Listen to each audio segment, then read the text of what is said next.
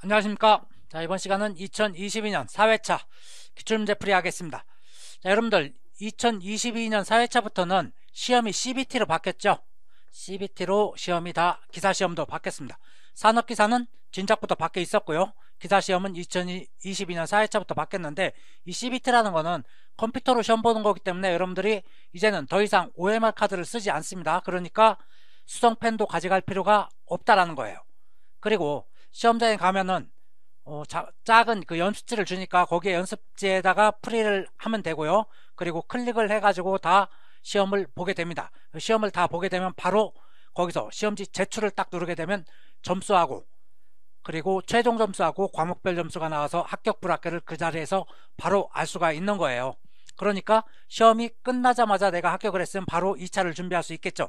예전보다는 그래서 2차를 준비할 수 있는 기간이 훨씬 더 늘어났습니다. 어떻게 보면 훨씬 더 좋아진 거죠.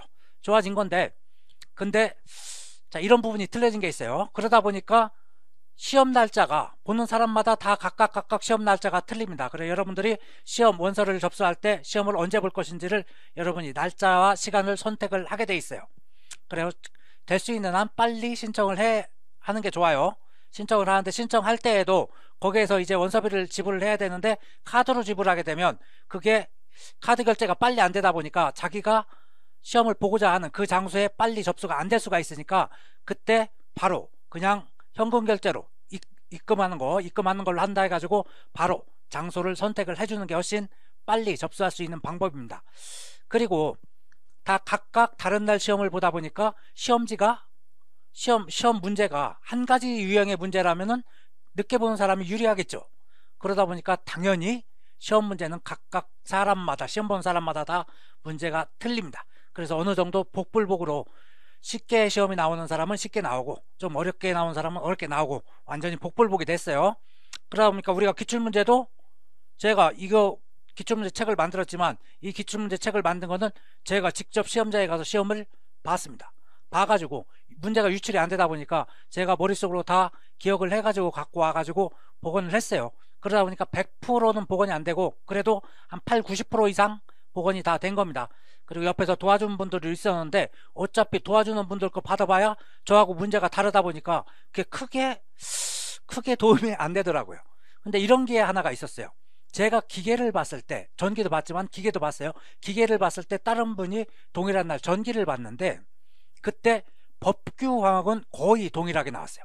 그래서 그럴 확률은 뭐 극히 드물겠지만 그런 때도 있더라는 얘기입니다. 비슷하게 나오는 때도 있는데 뭐 그렇다고 해가지고 여러분들이 뭐 친구나 이런 분들한테 물어봐서 이렇게 해봐야 크게 도움이 되지는 않을 거예요. 않을 거고 어차피 시험은 기출문제입니다. 기출 그 CBD 또한 기출문제에 있는 문제은행에 있는 문제들을 돌려가면서 랜덤으로 출제가 되는 거기 때문에 기출문제를 열심히 공부하다 보면 충분히 합격을 할 수 있는 거예요.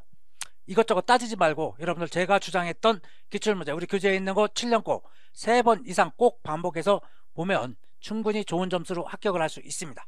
무조건 그렇게 따라, 따라 주시기 바랍니다. 자 그럼 이제 2022년 4회차 소방 원론 한번 할게요. 1번 건축물의 주요 구조부에 해당하지 않는 것은 주요, 구조, 주요 구조부도 상당히 많이 출제되는 문제 중에 하나죠. 그런데 여기서 보면 주계단 맞고요. 보 맞는데 작은 보. 아, 작은 보는 제외한다는 제외되는 그 항목이 좀 있죠. 그 지붕틀도 맞고 바닥도 맞아요. 우리 교재에 보면 이 해설에 이런 부분이 나오죠. 그래서 내력벽, 보, 지붕틀, 바닥, 주계단, 기둥 이게 문제에서 주로 이 부분이 문제가 나는데 가끔가다 이 뒤에 부분도 나올 때가 있다는 얘기예요. 그렇게 나오는 거 어려운 문제죠. 좀 어려운 문제예요. 보는 본데 작은 보는 제외한다. 그래서 주요 구조부가 아닌 것은 하면 작은 보가 될 수도 있고요. 그리고 지붕틀 중에 차양 제외 이건 뭐 잘 나오지는 않고 그리고 바닥이 가끔 나오죠. 최하층 바닥은 제외한다 해가지고 바닥 최하층 바닥 이렇게 해서 아닌 것은 찾을 때 이렇게 찾게 됩니다. 그리고 사익기동도 가끔 한번 나올 때가 있고 그렇게 많이 나오진 않는데 가끔 한 번씩 이것들이 돌아가면서 나올 때가 있어요. 그래도 많이 나오는 것은 그냥 메인이 많이 나옵니다. 메인은 반드시 6가지 외워주세요. 암기법 해서 쭉 머리 따서 외워주시기 바랍니다. 이 머리는 제가 딴 머리가 아니라고 그랬어요. 학원가에서 계속 전통적으로 돌아다니고 있는 머리이기 때문에 저한테 뭐라고 하지 마시고 머리를 따서 암기를 해줍니다. 2번 건축물의 내화 구조에서 바닥의 경우에는 철근 콘크리트 조의 두께가 몇 센치 이상이어야 되는가? 바닥이나 벽은 거의 동일하죠. 철근, 철근, 철근, 철골, 콘크리트 똑같아요. 철근이나 철골이나 똑같이 10cm죠. 10cm. 그러면 10cm가 넘으면 내화 구조로 인정을 한다 이겁니다. 그래서 철근, 철골, 콘크리트 10cm 하고 또 벽돌조는 벽돌 19cm 이것 정도는 암기를 해주셔야죠. 그리고 가끔 나오는 비내화, 비내력벽, 비내력벽 7cm, 비내력벽은 7cm 이상을 해야 된다라는 게 있습니다. 내력벽은 10cm고요. 비내력벽은 7cm입니다. 그리고 벽돌은 벽돌은 19cm. 그 정도는 암기를 해주셔야 돼요. 자, 이 부분들은 뭐 그렇게 많이 나오지는 않습니다. 일단 10cm가 제일 많이 나와요. 3번 표준 상태에서 메탄가스의 밀도는 몇 그램 퍼 리터인가 자, 여기서 표준 상태가 나옵니다 이 표준 상태는 자, STP라고 하죠 standard temperature pressure 그래서 0도씨 1기압 0도씨의 1기압 1기압 상태에서 0도씨를 STP 표준 상태라고 하고요 그때 메탄가스 메탄가스는 CH4죠 의 밀도를 구해라. 자, 밀도, 로는 그램 per 리터가 되죠. 자, 문제 어려워 보일 수 있겠지만 우리는 이상기체 상태 방정 식을 암기하고 있다. 그래서 문제를 보는 순간에 아 이걸 이상기태 상태 방정식으로 풀어야 되나?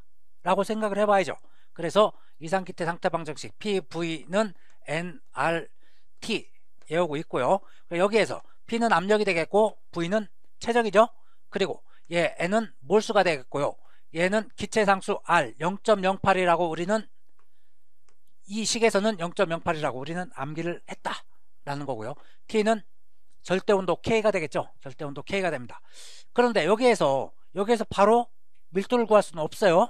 그래서 여기에 있는 이 몰수, 몰수 N은 N분의 W라는 걸 우리가 또 암기를 하고 있어요. 여기에서 이 W는 그 기체의 질량을 얘기하고요. 그리고 여기에 있는 m은 그 기체의 분자량을 얘기하죠. 그래서 얘를 여기에다 갖다 넣으면 PV는 m분의 WRT라는 식이 나오게 되겠죠. 여기서 여기에서 이 V를 이쪽으로 가고요. 그리고 이 M은 이 M은 이쪽으로 가죠. 서로 자리를 바꿔봅니다. 그래가지고 그걸 먼저 써보면 W, V 이렇게 쓸 수가 있겠죠.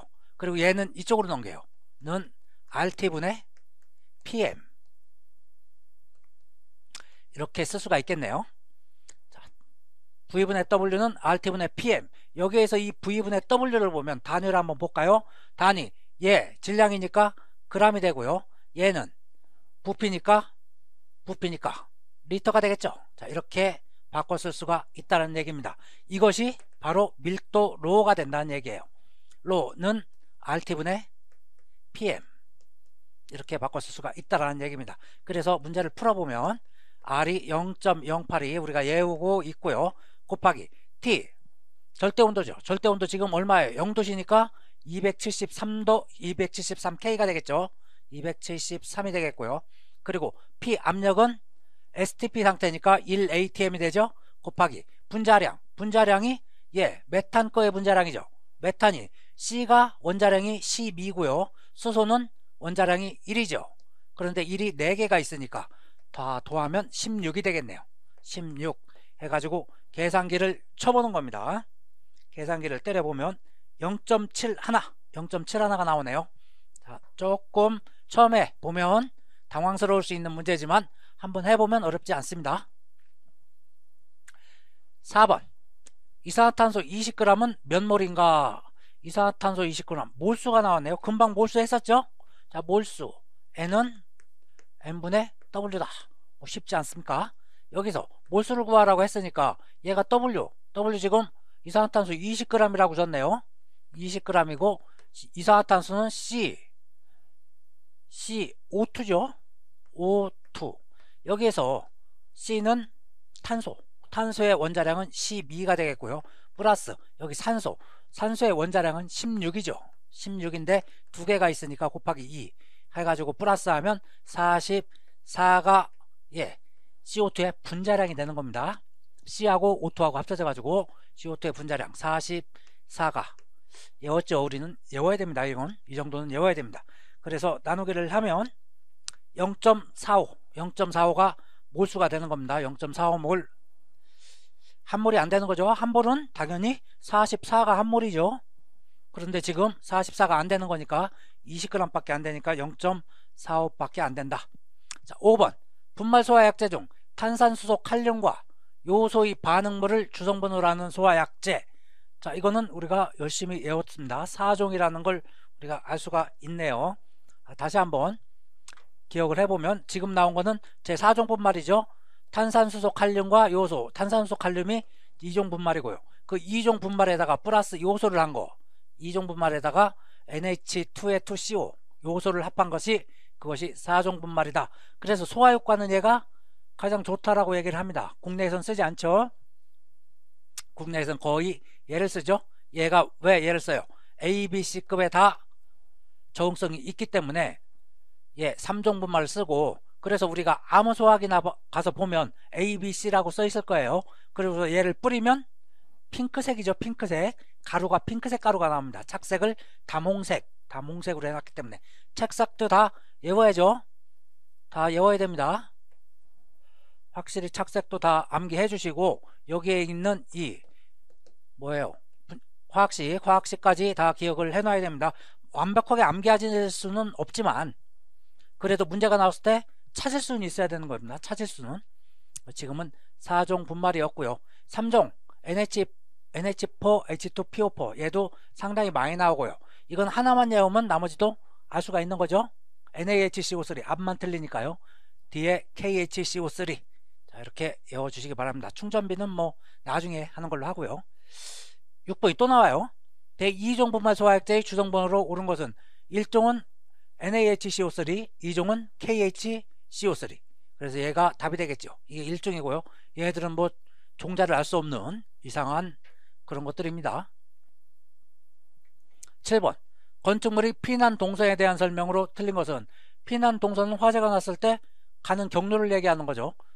피난 동선은 가급적 단순한 종류가 좋다. 그렇죠. 피난을 해야 되는데 미로 형태로 만들어 가지고 빙글빙글 돌게 나, 만들어 놓으면 다 죽는다는 얘기예요.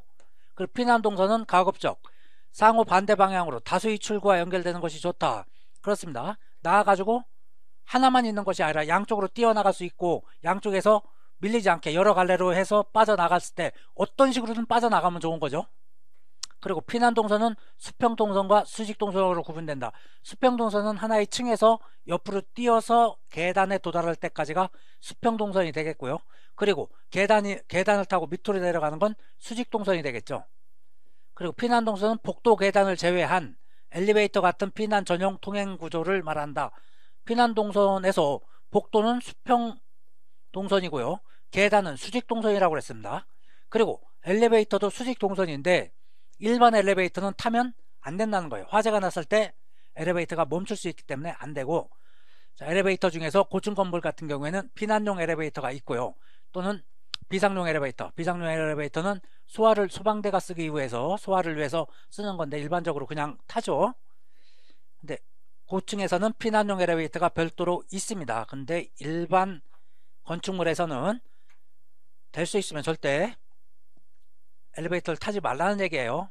뭐 꼭은 아닙니다. 어떤 때는 이게 제천 스포츠센터 사고 같은 경우에는 그분들이 엘리베이터를 안 타고 다 계단 쪽으로 갔는데 계단 쪽에 연기가 돌아가지고 거기서 사망사고가 많이 발생한 그런 경우도 있습니다. 애매한 거예요 이게.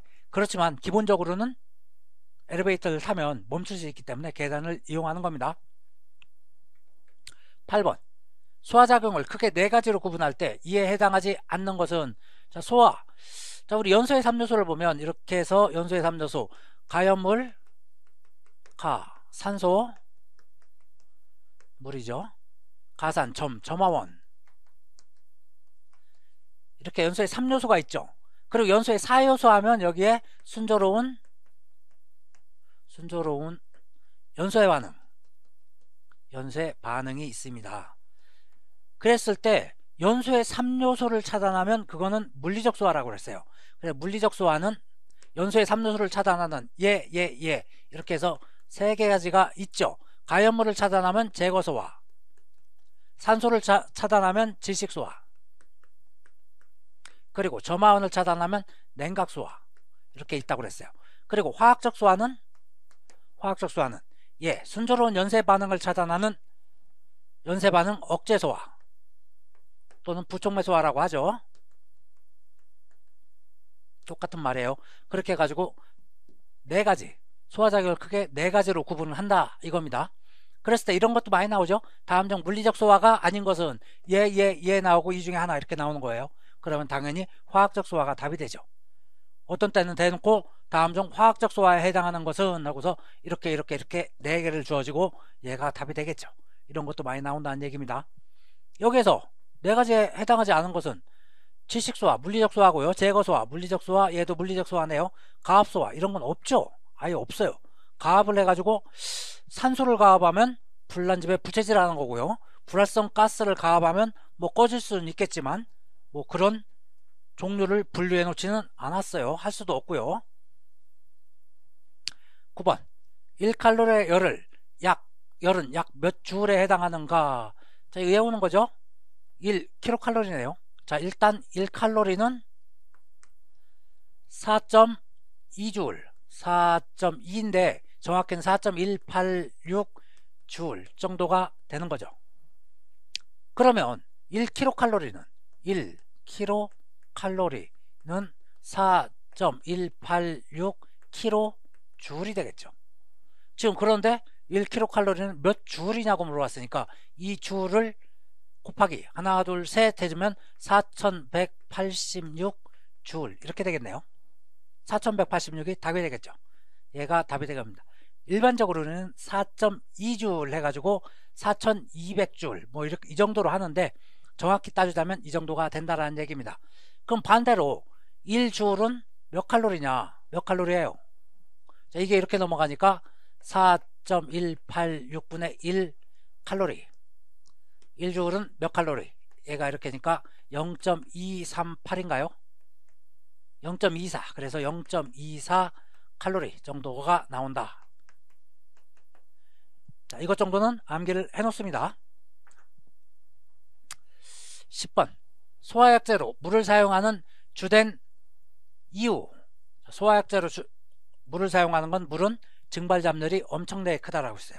증발잡률 증발잡률이 539 kcal per kg 물 1kg 있으면 그것이 증발이 돼가면서 주위에 있는 열을 539 kcal만큼 뺏어오는 거예요. 그리고 불이 타고 있는 걸 그만큼 식혀주는 거죠. 그래서 상당히 크다. 칼로리로 얘기하면 이렇게 되는데 원래는 이 칼로리가 칼로리가 SI 단위가 아니에요. 줄이 SI 단위입니다.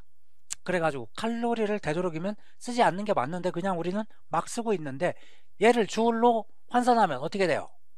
자, 1 칼로리는 4.186 줄이라고 했어요. 그죠? 그러면 얘는 1kcal는 킬로칼로리는 4.186kJ이 되겠죠? 자, 1칼로리일 때 4.1kcal일 때 4.186이니까 1일 때 4.186은 539일 때 X 이렇게 해서 X를 구하면 이게 얼마가 나요? 2500 얼마가 나오죠 이게? 2500이 넘어요 상당히 큰 거예요 저도 잘 안 외워가지고 2256이네요 2256 kg 줄이죠. 줄 퍼 킬로그램. 자, 똑같은 증발 잡열, 지금 증발 잡열을 하고 있는 거예요. 증발 잡열을, 물의 증발 잡열을 칼로리, 킬로칼로리로 얘기하면 539 킬로칼로리고요. 1kg이 증발할 때. 그런데 그거를 똑같이 1kg이 증발할 때 줄로 하면 둘둘 56 kJ. 이 정도가 된다는 얘기입니다. 그 정도의 열을 옆에서 뺏어온다. 이런 거예요. 자, 그래서 증발 잠들이 크기 때문에가 가장 큰 목적이에요.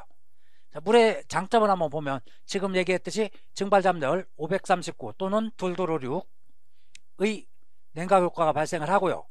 무상주소하면 안개 모양으로 뿌려주면 질냉 유희의 소화 효과가 있다.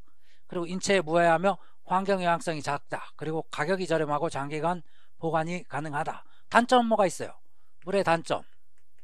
가장 큰 동파의 우려가 있다.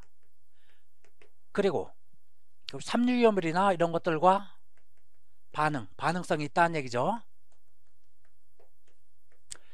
반응해가지고 수소 같은 것들을 발생할 수가 있다. 반응하는 물질들이 있기 때문에 잘 골라가지고 써야 된다. 라는 얘기예요. 자, 그 정도 단점이 있다. 11번 가스 A가 40 볼륨 퍼센트, B가 60 볼륨 퍼센트로 혼합된 가스의 연소 하한계는 몇 볼륨 퍼센트인가? 자, 이거 르스라틀리의 식을 식으로 자, 혼합가스의 볼륨을 구해라. 뭐 이런 얘기죠. 우리는 열심히 외웠습니다. L분의 L분의 100이죠. L1분의 V1 플러스 L2분의 V2 땡땡땡땡땡 여러 개 보통 3개짜리가 많이 나왔어요 3개짜리가 많이 나왔는데 얘는 혼합가스 믹스 혼합가스의 LFL을 구해라 이런 거죠 자 하한계 연소하한계 혼합가스의 연소하한계 첫 번째 가스의 연소하한계 두 번째 가스의 LFL 연소하한계 그리고 첫 번째 가스의 볼륨 두 번째 가스의 볼륨. 여기서는 가스가 두 개밖에 없으니까요. 이 식에다 그냥 넣으면 되겠죠. L분의. 자 100은 무조건 볼륨 두 개 합쳐가지고 100이 나오는지 봐야 돼요. 100이 안 나오면 얘네 얘네 도한 것이 여기 가는 겁니다. 이게 만약에 얘가 30 얘가 60이라면 이후에는 90이 되는 거예요. 나머지 10%는 불활성 가스겠죠 여기에 써주진 않았지만 불활성 가스가 있다는 얘기예요. 근데 그런 문제는 소방에서는 잘 안 나옵니다. 진짜로 난이도 있는 가스 문제나 이런 데 가면 당연히 나오는 문제예요. 100은 첫 번째 가스의 LFL 첫 번째 가스가 LFL이 얼마예요? 연소 한계가 A가스 4.9 4.9 볼륨이 40% 플러스 두 번째 가스 LFL은 4.15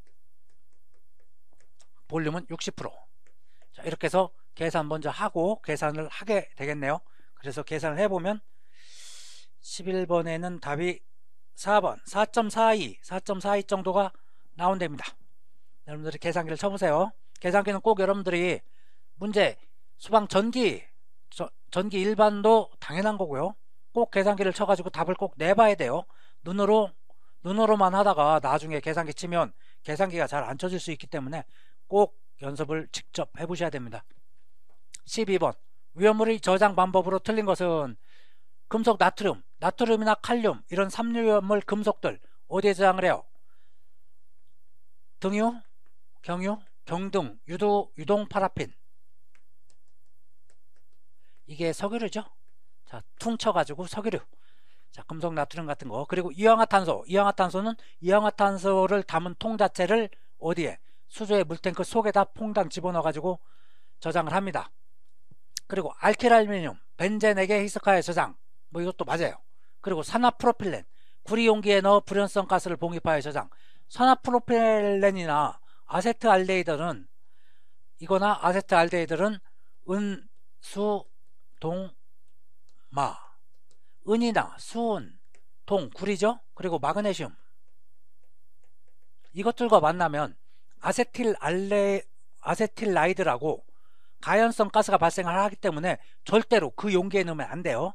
아세트알데히드나 산화프로필렌은 이런 은이나 수은, 동, 마그네슘 용기에 넣으면 절대로 안 됩니다. 자 그래서 12번이 틀렸어요 13번 촛불의 주된 연소 형태에 해당하는 것은 촛불은 처음에는 파라핀 고체죠 고체인데 열을 가하게 되면 일단 녹아요. 녹아가지고 액체 상태가 되죠. 그 액체 상태에서 그 액체가 증발하는 겁니다. 그래서 증발연소 형태를 띱니다. 그래서 촛불 같은 경우에는 고체지만 증발연소예요 증발연소 표면연소 같은 경우는 수시죠. 수시나 금속분 그런 것들은 표면연소 자기 자신이 직접 탑니다.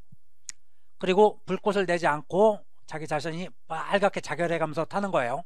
그리고 분해연소 같은 경우에는 목재나 뭐 플라스틱류 이런 것들은 고체지만 고체가 자기 자신이 분해해가면서 거기에서 자 분해된 뭐 메탄이나 등등등등의 가연성 가스가 발생하는 겁니다 그러면서 타는 것이 분해 연소입니다 목재나 나무 이런 것들 종이 그리고 자기 연소 같은 경우는 오류위험물들 자기 자신의 산소를 가득 넣어놓고 있어가지고 스스로 타는 것들이 자기 연소입니다. 산소가 공급하지 않아도 스스로 탈 수 있어요. 14번 음속이 기체에서 340m/s일 때 다음 중 맞는 것은 음속은 기체 상태에서 초당 340m를 간다는 얘기죠. 그런데 그것이 지금 여기에서 보면 어, 속도를 얘기한 거네요. 고체 상태냐? 액체 상태냐?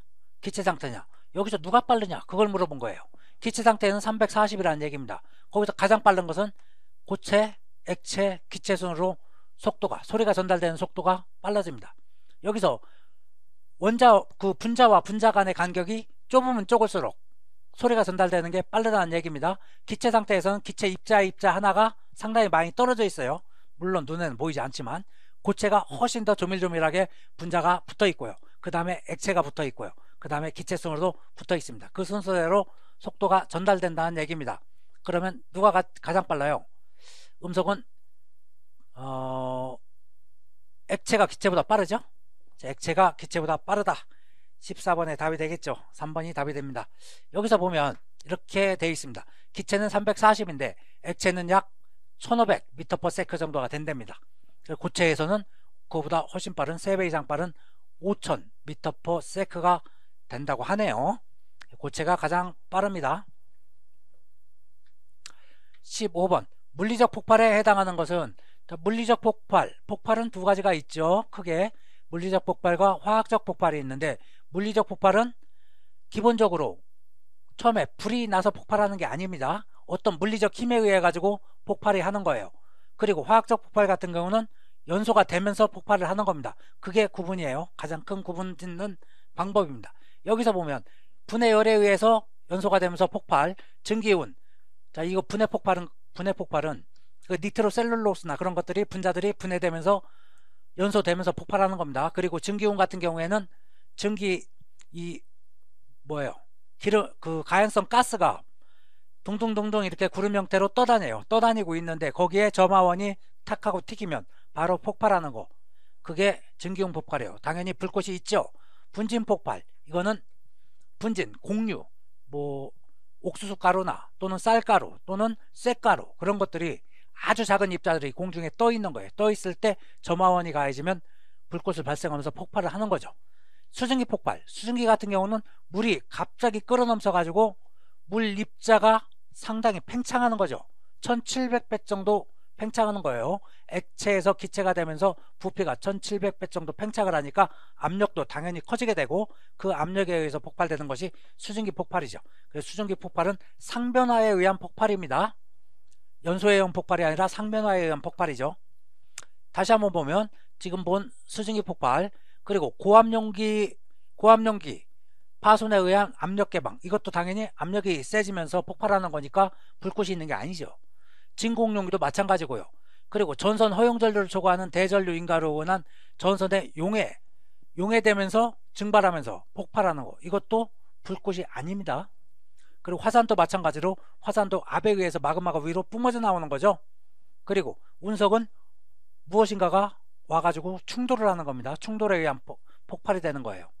그리고 얘네 같은 경우에는 산화 열, 연소죠, 연소. 그리고 분해 폭발, 얘네도 마찬가지고 중화 폭발 다 연소되면서 폭발을 하는 겁니다. 16번 수소 1kg이 완전 연소할 때 산소량은 몇 kg인가 하고 물어봤네요. 자 수소 H2가 있어요. 연소하려면 산소를 만나겠죠. 그래가지고 나올 수 있는 건 H와 O 뿐이니까 이건 물밖에 나올 게 없어요. H2O가 나온다는 거예요. 그러면 여기에서 H는 두 개, 두 개인데 산소는 하나니까 얘가 반으로 줄어들면 이렇게 개수가 맞겠죠.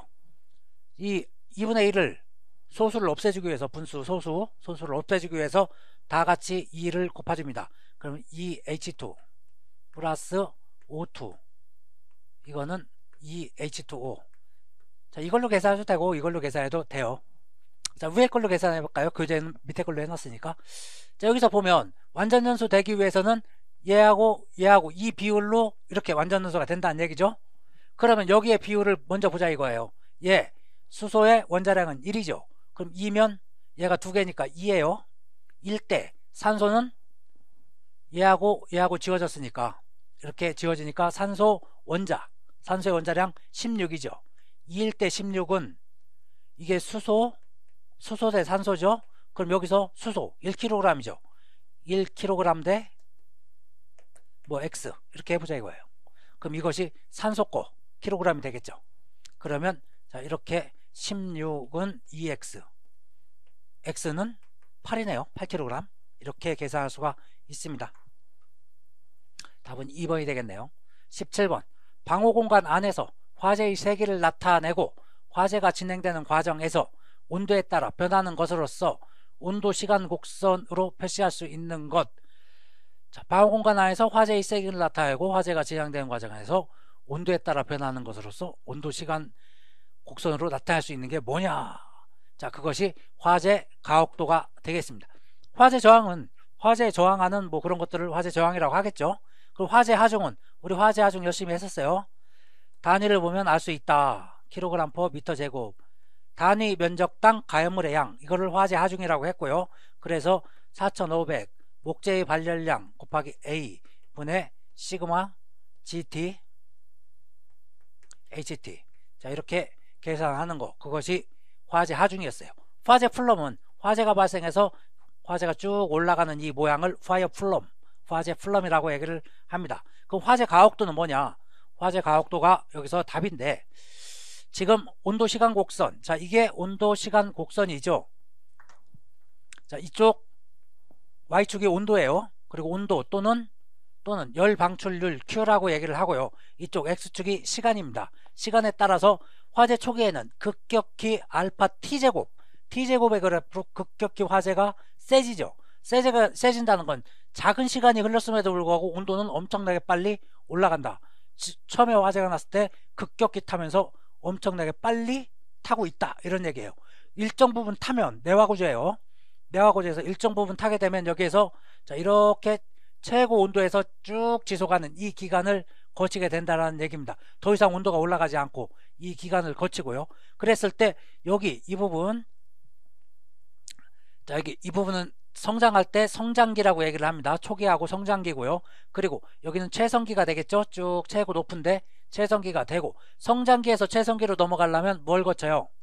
flashover를 거치죠. flashover. 전체 실에 화재가 발생하는 화재가 부분적으로 발생해 가지고 쭉 확산을 하다가 갑자기 복사열에 의해 가지고 전체 실에 갑자기 확 하고 불이 붙는 거 그것이 flashover가 되겠고요. flashover가 되면 전실에 딱 화재가 붙어서 여기부터는 환기 지배형 화재가 됩니다. 처음에 초기나 성장기는 연료 지배형 화재가 돼요.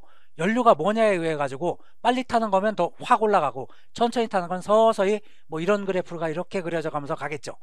그런데 일정 온도까지 올라가면 여기부터는 산소가 얼마나 잘 공급해 주느냐에 따라 가지고 그 화재가 지배가 된다는 얘기입니다. 그래서 이 부분 여기 여기부터 여기까지는 산소의 공급에 따라서 쭉 가다가 산소를 다 쓰게 되면 이렇게 뚝 떨어지는 산소를 다 쓰거나 또는 연료가 다 쓰면 뚝 떨어지는 감세기의 종기까지 이렇게 나오게 됩니다. 그 여기에서 화재 가혹도라는 건 이 이 부분 이 부분의 면적이 됩니다.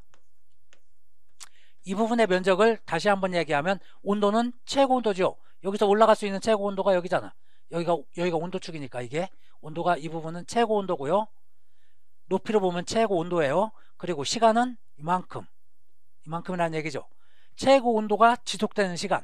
그 면적이니까 둘을 곱한 거예요. 그래서 최고 온도 지속 시간을 우리는 화재 가혹도라고 얘기하고 그 화재 가혹도에 따라 가지고 그 건물에 얼마나 영향을 크게 미치느냐를 판단할 수가 있다라는 얘기입니다. 그게 화재 가혹도예요. 18번. 연면적이 1000제곱미터인 건축물에 설치하는 방화벽이 갖추어야 할 기준. 자, 이 방화벽은 내화 구조가 아닌 건축물 내화 구조가 아닌 건축물에 설치를 해가지고 그 내화 구조가 아닌 건축물이 워낙 넓다 보면 천제곱미터 이상이 되다 보면 한꺼번에 그 건물을 다 잃을 수가 있기 때문에 중간에 구분을 하기 위해서 벽을 딱 세우죠. 벽을 세워가지고 한쪽 편에서 타면 자 이게 이게 뭐 한 2천 2천 제곱미터 이상이 된다. 그러면 딱 벽을 가운데다 딱 세워요. 그래가지고 이쪽에서 화재가 나면 그 화재가 이렇게 넘지 않게 하기 위해서 세우는 겁니다. 1000제곱미터 이하마다 설치를 해가지고 설치를 한다는 얘기죠. 자, 보면 방화구조로서 홀로 설 수 있을 것. 자, 내화구조로서 홀로 설 수 있을 것이죠. 내화구조로서. 그리고 두 번째, 방화벽의 양쪽 끝과 위쪽 끝은 건축물 외벽면으로부터 0.5cm 이상 튀어나오게 할 것.